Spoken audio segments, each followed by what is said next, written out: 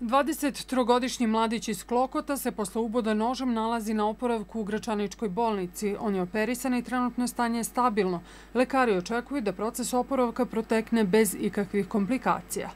Pratit ćemo go narednih nekoliko dana, pa ćemo reagovati u skladu sa daljim razvojem događaja.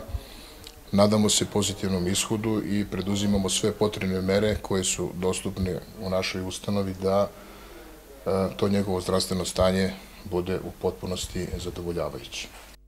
Od ranjavanja Miloša Stevića u bolnici u Gračanici posjetilo je nekoliko političkih zvaničnika. Juče su mu u pratnji gradonačelnika Raniluga u posjeti bili i poslanici liste Srpska. I ukoliko policije i bezbednostne strukture nastave sa principom da ne žele da otkriju i ukoliko policije i bezbednostne e, strukture nastave sa principom da ne žele da saznaju, ovakvi incidenti će se i dalje ponavljati i u Klokotu, i u Goraždevcu, i u Klini, i u e, Kišnici i svugde gde srpski narod živi i gde naša omladina e, se bori da e, izgradi svoju mladost i svoju budućnost.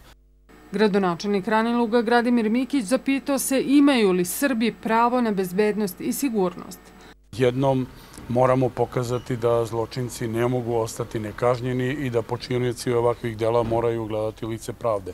Dok se to ne desi, a što do sada nije bio slučaj, mislim da će ovakve stvari da se i dalje dešavaju i da jednostavno mislim da je ovo signal Srbima da nisu poženi na prostoru Kosova i Metohije. Poslanici Liste Srpska najavili su da će sa srpskim predstavnicima u vladi Kosova pokrenuti inicijativu za sazivanje vanredne sednice na kojoj će tema biti bezbednost Srba.